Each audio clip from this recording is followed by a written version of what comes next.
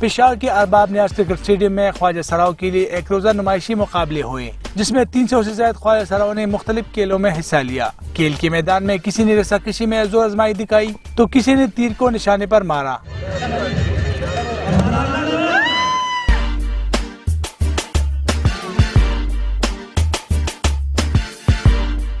Cricket کے میدان میں خواجہ سراؤ نے اپنے منفرد انداز میں نہ صرف بالنگ کی بلکہ چوکی بھی لگائے۔ مختلف کھیلوں میں حصہ لینے والے خواجہ سرا کافی پرجوش نظر آئے۔ اسے تفریحی سرگرمی قرار دیا۔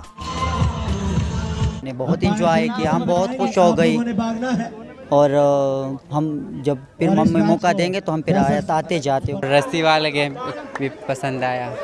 بہت سارے گیم ہم نے کھیل لی بس ہم بہت خوش ہیں۔ اور ہم ہم چاہتے ہیں کہ ہمیں اس طرح موقع اور بھی دیا جائے۔ کرکٹ کے میدان میں خواجہ سرا بند سور کر آئے اور اپنی اپنی ٹیموں کو داد دینے کے لیے شور مچاتے رہے۔ خواجہ سرا کی حقوق کے لیے کام کرنے والی غیر سرکاری تنظیم نے کھیلوں کی سرگرمی کو بہتر قرار دیا۔ ان کے خوش دیکھ کر ہمیں بھی بہت زیادہ خوشی ہو رہی ہے۔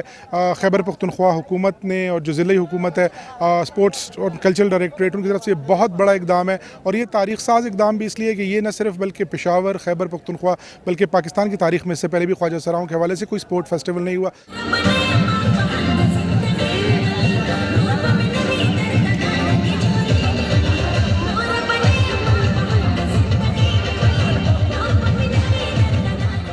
تقریب کے ہمارے خصوصی، director general support Junaid Khan نے نمایاں پوزیشن حاصل کرنے والی خواہش سرا کی ٹیم میں نامات بھی تقسیم کیے۔ کیمرہ مین محمد خامد کے ساتھ مسرت اللہ، دنیا نیوز پشاور۔